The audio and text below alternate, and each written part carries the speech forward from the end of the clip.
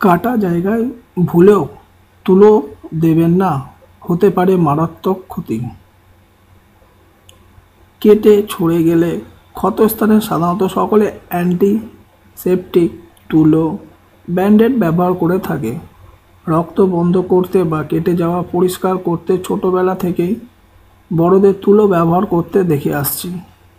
তাই আমাদের সকলে কেটে ছড়ে গেলে তুলোর খোঁজ করে থাকি। কিন্তু তাতে নিজের যে কী মারাত্মক ক্ষতি করছে তা আমরা অনেকেই জানি না।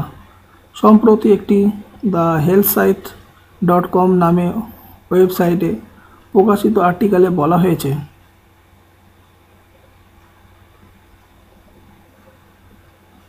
ব্যবহারে হতে পারে বড় বিপদ।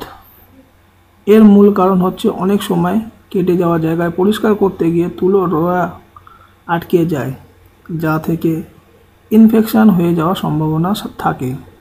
তুলো আমরা অনেকেই বাড়ির যে কোনো জায়গায় রেখে দিয়ে থাকি। এর ফলে তাতে ধুলো ও ময়লা জমতে থাকে। তাই সেই তুলো ব্যবহার করলে ইনফেকশান হতে পারে।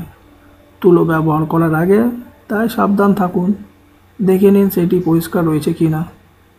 চিকিৎসকরা বলেছেন যে কোনো কাটা জায়গায় আগে জলে ধুয়ে নিন। এতে ইনফেকশনের সম্ভাবনা অনেকটাই কমে যায়।